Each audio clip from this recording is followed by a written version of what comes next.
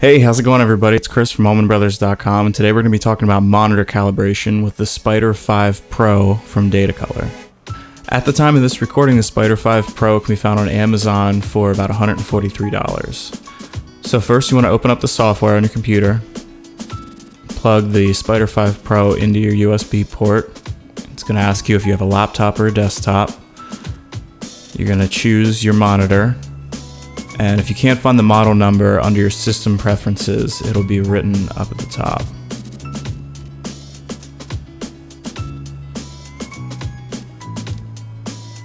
It's going to ask if you have brightness or Kelvin presets, and it's going to ask if you want to recalibrate, do a full calibration, or check your current calibration. Next, you want to set the Spyder 5 Pro on your desk so it can measure the ambient light. It'll tell you where the recommended target settings are and then where your settings lie. Next, pull the back cap off of the calibrator and place it on your screen. And it'll run through a series of tests. It'll tell you where your current brightness is and where your target is. So you want to jump into your monitor settings and adjust them and then do the update. You can see mine's pretty close here. I'm going to leave it there. I'm just going to run the test one more time. And that's it. Then when it's finished, you can name it. I usually use the date because I have mine calibrate about every two months.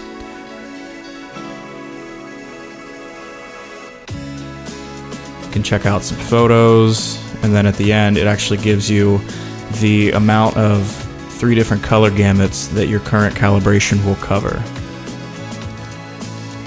You can see I'm at 75% of Adobe RGB, 96% of sRGB. And you can stack that up against your old calibration. So you can see mine actually got a little bit better. And that's it. I hope you found this tutorial helpful. If you have any questions, please leave them down in the comments. I'll do my best to answer.